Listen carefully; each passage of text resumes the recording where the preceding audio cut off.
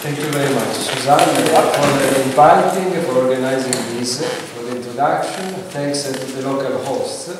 They made me feel at home from the moment they picked me up from the airport. they fed me, they entertained me, so thank you so much. And I think the picture I sent you, Suzanne, is from a few years ago. Oh, and uh, I will explain why there were no white hair on the picture. Yeah. Yeah, I was just wondering how you did so much. Anyway. time. Let me also uh, praise a little bit the previous uh, speakers because uh, really I found them very inspiring. I'm so sorry I couldn't attend yesterday and this morning, but uh, just the last couple of talks, uh, really uh, eye-openers eh, for, uh, for doctors, for uh, families, a very important uh, things. So thank you very much. So uh, the idea was uh, first uh, to get uh, you acquainted with my Brummy accent, because I'm from Birmingham. it was the first uh, and the most uh, difficult part. uh, and the second part is uh, uh, to be here available if there's any curiosity, any uh, topic, uh, any question, anything from a medical perspective could be of help to any of you. It's so good, number one, that uh, set this up as uh, uh, Tourette Alliance and Northern Ireland.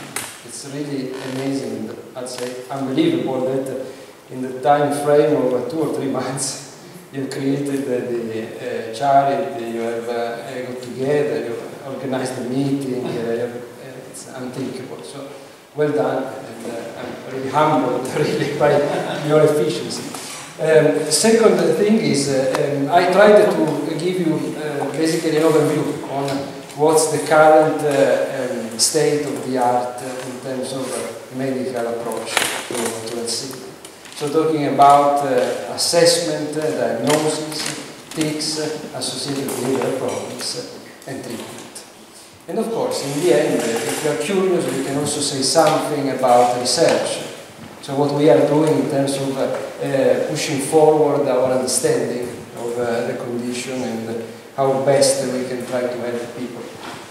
You see here, yes. Um, so basically, um, I'm a neurologist. I work, uh, I train in neurology, and I work with adult uh, patients. But uh, uh, the NHS, before it uh, sinks, uh, allowed me to also see some children for the assessment, for advice, as long as their care is coordinated by a child specialist. So I do see children in clinic. There's a specialist uh, uh, clinic in Birmingham. There are uh, 200, 250 patients seen there, and I'd say that 10% uh, are below the age of 16. Um, the approach uh, is, uh, is quite different, I have to say, uh, I'm very glad that uh, the child specialist, pediatric neurologist uh, help with, uh, with the child. Of course, the school setting as we are here now, family relationships, growing up, developing independence, adolescence, these are, these are all issues that uh, further complicate the matter and uh, it's crucial really to intervene early at the stage. We were talking with some of you before that uh, in the United States uh, diagnosis is around the age of onset, uh, 5 to 7, and Eh, it's uh, very good. Here, I'm not sure if uh, it's better. Uh, uh eh, I do see people who come to clinic, eh, they are in their 20s, their 30s, and they say, I, I lived a, life of being misunderstood, of being blamed, not knowing what was wrong with me, and. So they missed out the most important years. So I, for me, I agree with, you as families uh, stressing the importance of having the right assessment, the right diagnosis, the right treatment uh, early on in life. I'm a neurologist by training, but I work in neuropsychiatry. So uh, I developed an interest in the behavioral aspects of neurological conditions, and so I work at the interface between neurology and psychiatry, hence neuropsychiatry. Tourette syndrome, in fact, and uh, tic disorders are unique in, uh, as medical conditions because the only uh, uh, diagnosis that features both in the neurological classification system as a movement disorder and in the psychiatric classification system, which is the DSM, Diagnostic and Statistical Manual for mental disorders, which was developed by the Americans, the American Psychiatric Association. So, if you look at the two manuals, the movement disorders in neurology and the DSM in psychiatry, you find the Tourette syndrome in both. It's the only condition of all medical conditions. It's a really particular special place, really. And it's a fascinating. My volume. I, I tried all my life to turn my volume. It's my- Is better? Yeah. Um, it's a. thank you. Thank you very much. Without him, uh, we wouldn't have the presentation. Um, so, a unique uh, place in neurology and psychiatry, and also a fascinating condition, honestly. As a doctor, you find that this uh, uh, presentation, the symptoms, uh, they are intriguing. What can make people move when they don't mean to? Make them say things that they would never say, that are against social rules, against. what, what is this? And, uh, so it's, a, it's an open window into human nature. There's an interest that is not just uh, uh, confined to movement uh, and so on, but really tells us about uh, human nature as such. And uh, this was recognized by two giants, uh, really, of modern neurology. One is uh, Alexander Luria, this one, psychologist, former Soviet Union uh, School of Psychology, Pavlov, Pavlovian reflex, and so on, Pavlov's dog. And the other one is uh, USA, uh, reached UK, but uh, then moved to USA and became star in USA, a neurologist, New York-based Oliver Sacks, sadly passed away uh, last year, not long ago. They shared a passion, eh, and what we are here about today is their passion, really. They were both intrigued, fascinated. They both developed an interest in Tourette syndrome. This is a letter taken uh, from uh, their correspondence. Luria was writing to Oliver Sacks, and he said, This is truly of tremendous importance. Any understanding of such a syndrome must vastly broaden our understanding of human nature in general. I know of no other syndrome of comparable interest. So, said by them really means a lot. And it's true. Um, let's try to move on with this. I might uh, need uh, your, uh, your help uh, once more here. yeah. Okay. But uh, don't go away, as I said. um, so, uh, start from the basics in the medical textbooks, you find the definition. What are tics? Involuntary, sudden, rapid, recurrent, but non-rhythmic, so different to tremor.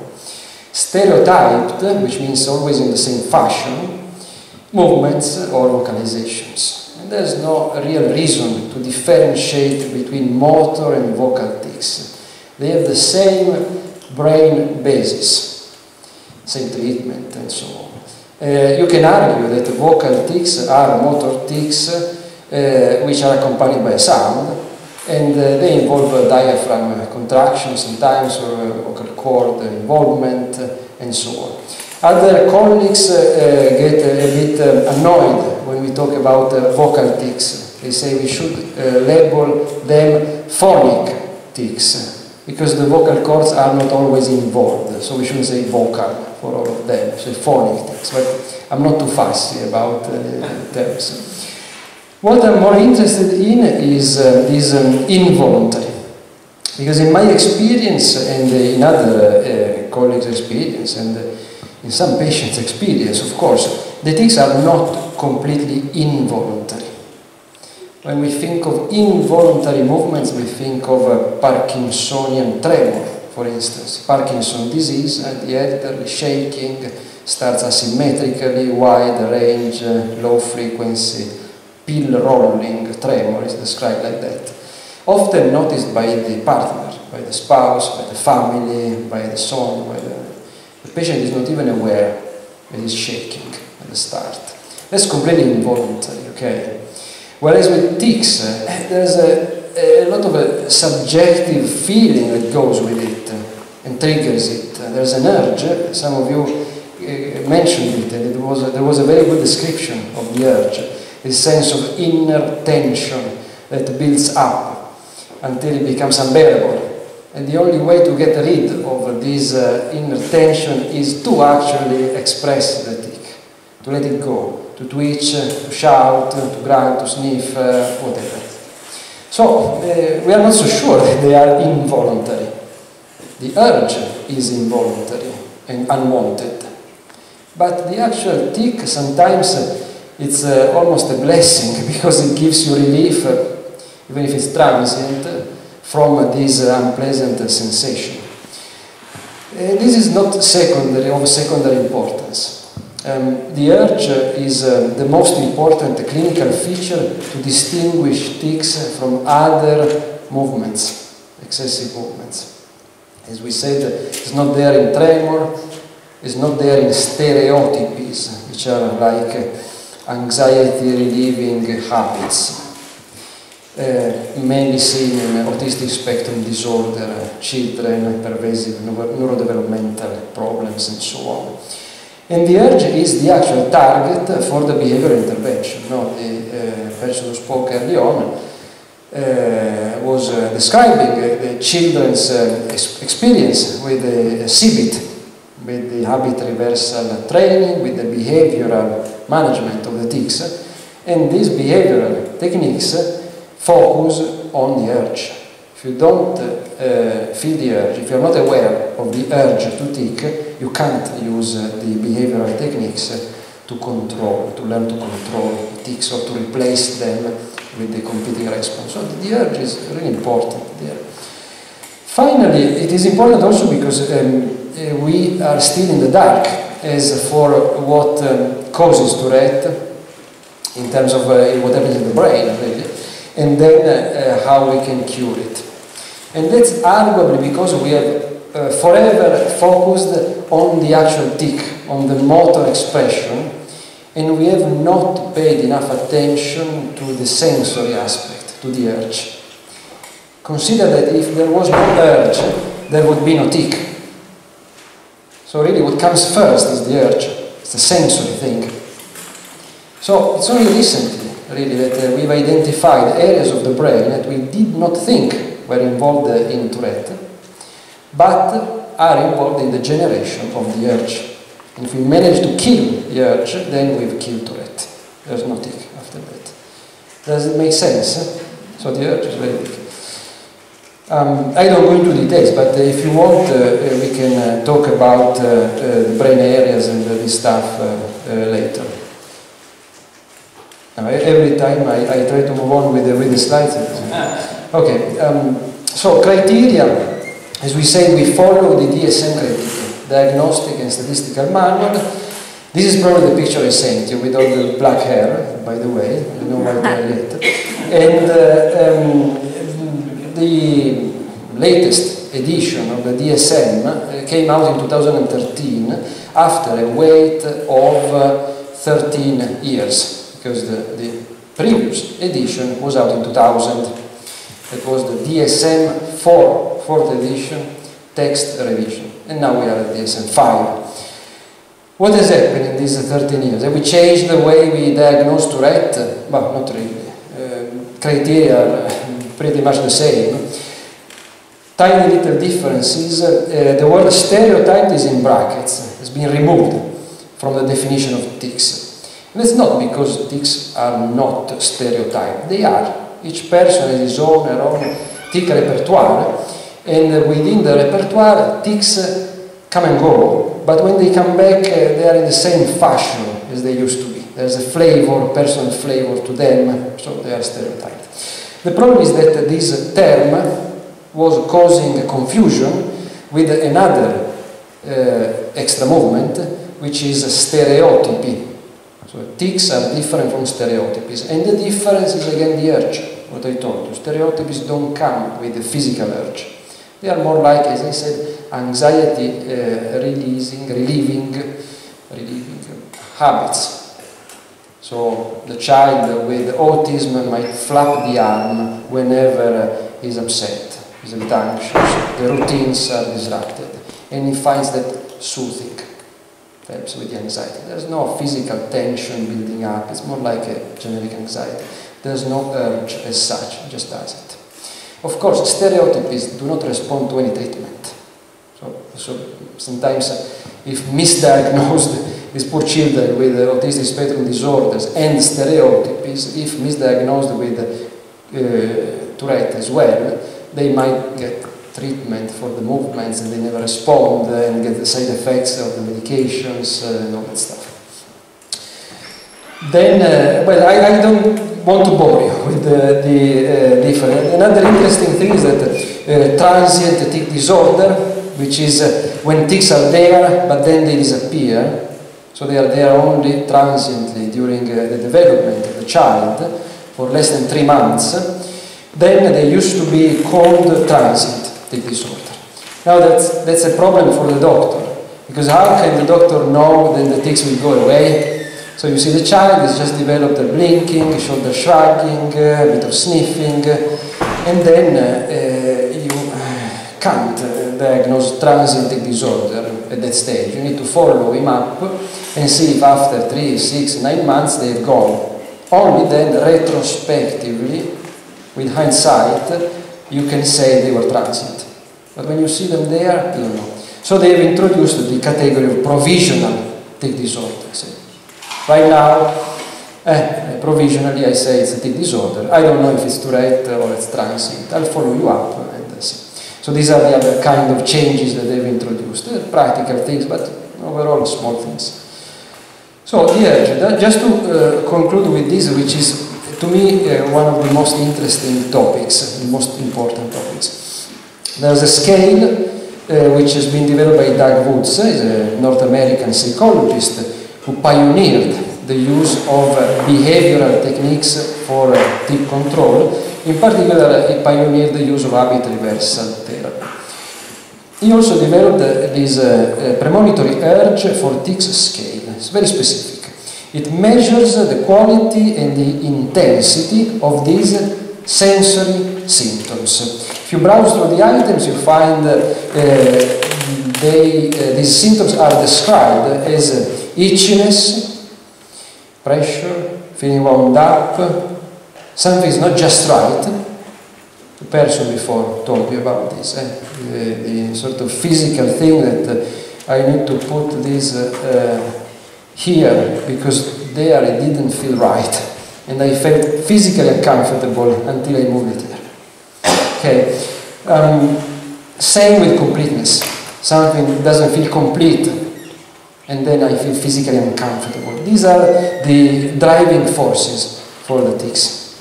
And we can now rate them. And we can see how these urges uh, increase when we feel uh, stressed, under pressure and so on, how they can decrease if the treatment is effective and then uh, a person feels better. So, uh, as I was uh, telling you, there's a lot of interest now in these urges, there's a lot of research, some from our group, and, and really what we found is that we need to look beyond the parts of the brain that control motor expression. So traditionally we focus on primary motor cortex, a part of the brain which is called basal ganglia, which was the kind of hot topic for Tourette syndrome for many years. But more recently, we've seen that there is involvement in the sensory cortex and in the insula, which is a part of the brain that monitors bodily states. So when we feel uh, hot, cold, uh, sick, uh, then the insula activates. We become aware that we are feeling that way. Sensory aspect. So this is becoming really a hot topic for research in Tourette. It might lead us to understand the essence of Tourette. A bit of history. So, we started talking about Tourette syndrome as a medical condition fairly recently in human history. 19th century, um, this uh, is possibly the most famous painting in the whole of uh, neurology and psychiatry. It's called Un leçon clinique à Salpêtrière. It's by André Bruyère. It's a French painting. It depicts a clinical lecture at the Salpêtrière Hospital, which was the temple of neurology, Paris, end of 19th century. There are a lot of uh, uh, famous people depicted here. The master was Jean-Martin Charcot, who is the father of modern neurology, but sitting in the first row, pretty much in the same chair where Suzanne is sitting now, I try to wake you up, there is uh, Georges Albert Edouard Brutus Gilles de la Tourette. Easy to remember, short name. and uh, um, he was Charcot's favorite pupil. And uh, he was the one who was uh, uh, called, summoned by Charcot in his office, by the great master, and told to write up what we would now call a case series of nine people Charcot had seen who shared the clinical features of uh, motor tics plus echoing, repeating other people's words, and swearing when they didn't mean it. It was the first time that this socially inappropriate uh, symptom was considered a medical symptom, not just a sign of bad behavior. And uh, this is exactly what uh, Gilles de la Tourette did. It was, uh, he was probably annoyed by Charcot's request to write it up, and he earned eternal fame. He will never be forgotten because of this. And I think he gave a gift to humanity, because a lot of people suffered, eh, innocent people suffered throughout history, having this, these days, I would say, I wouldn't say no longer suffer, but they don't feel as misunderstood as they used to before then. So this is the actual paper. It's in French, published in Revue Neurologique, 1885. And the first case, number one, I don't expect you to read, uh, it's very small. Uh, case number one, which is here, is um, a French noblewoman. She was called the Marquise de Dampierre, nicknamed the Cursing Marquise, because she used to cause big scandal and uh, uh, shock the high society of Paris at the beginning of the 19th century because of her behavior, jumping, shouting, swearing, when uh, clearly she was not angry or uh, she didn't mean it. And um, her case attracted the attention of a doctor who was not uh, Charcot, who was not Gilles de la Tourette, but uh, was uh, François Itard, another French doctor. It was a single case report. Nobody paid attention to it. Charcot read it. He saw another eight people with these symptoms, and then he understood that this was a medical condition. So we should never forget uh, the past what other people have written before us. See, they, would have, they would have not have, uh, made the, the description, Tourette syndrome would have not been uh, described if they had not read uh, that case, the single case. And uh, of course, since then, uh, a lot of time elapsed, and now we have a completely different view on Tourette syndrome. For a long time, it was considered a rare, bizarre medical curiosity with very specific symptoms, eh? the copying the words, echoing, the swearing. We now know that these are kind of accessory symptoms. They are not the core of Tourette. The core are the simple tics, the blinking, the shrugging, uh, the simple noises. Uh, so uh, we've changed the view of syndrome from a rare, bizarre, very specific uh, medical curiosity to uh, what is almost a variant of normal human behavior, almost a variant. Mild cases, a bit of blinking, shoulder shrugging, throat clearing, that's enough for the current diagnosis of Tourette. Nothing extreme, swearing, not needed. Um, the current uh, DSM criteria for the diagnosis of Tourette require two motor tics and one vocal tic from childhood or from adolescence chronically. That's it. So a bit of a shoulder shrugging, neck jerking and throat clearing is enough. As long as it started before the age of 18 and it didn't go away. That pushed the uh, prevalence, so how common the condition is, high because uh, it doesn't take much to, to get a diagnosis of uh, Tourette syndrome with the current criteria. So instead of being rare, it's now considered fairly common, and in every school, of course, there are children who are diagnosed with Tourette syndrome. The current prevalence is thought to be around 1% in school-age children. So we are talking about full-blown Tourette syndrome. Tic disorders, transient tics or chronic motor tics without the noises or vice versa. This is even more common. We think 20%, one in five children at some point have some tics. So almost a variant of normal behavior. This is where we are now. This is Jeremiah Scharf from um, uh, USA. Um, he also uh, ran a uh, meta-analysis, so did a study of other studies. And uh, he confirmed this finding, 0.3 to 0.9% of uh, school-age children have uh, Tourette. If we look at colleagues who work in movement disorders clinics, so neurologists, who deal with movement. This is Joe Jankovic, is the, one of the world experts. He runs a clinic in Houston, in Texas. And uh, he conducted an audit in the NHS. We have to do audits every day. Uh, so to review our practice. Are we complying with the current gold standard? And uh, Joe Jankovic also did an audit. But when he audited his clinic, it was an audit of 20, 30 years of activity and 30,000 care records, 30,000, an army really, all with movement disorders. And he looked at uh, how common tics were in, uh, in this, they were very common. The prevalence is uh, 7% here. So, 1 in 11, 1 in 12 patients who enter this office of movement disorder clinic and tics every day, this one. And uh, uh, second only to tremor and dystonia. So among the movement are common children, even more common than that. I don't need to tell you what uh, are. You are very familiar, you've seen them and experienced and so on. Motor tics, these are the most common ones. The distinction between simple tics and complex tics, which we do in clinic, uh, again, it's quite arbitrary.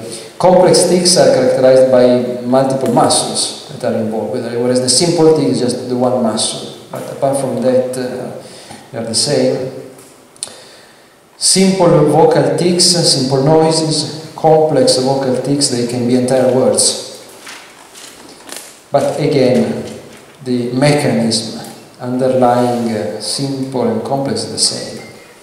And there's no treatment that works for the simple and doesn't work for the complex or vice versa. Bizarre presentations. We did publish and see through the years some people who came to clinic uh, with some tics which were puzzling, didn't expect to take that shape.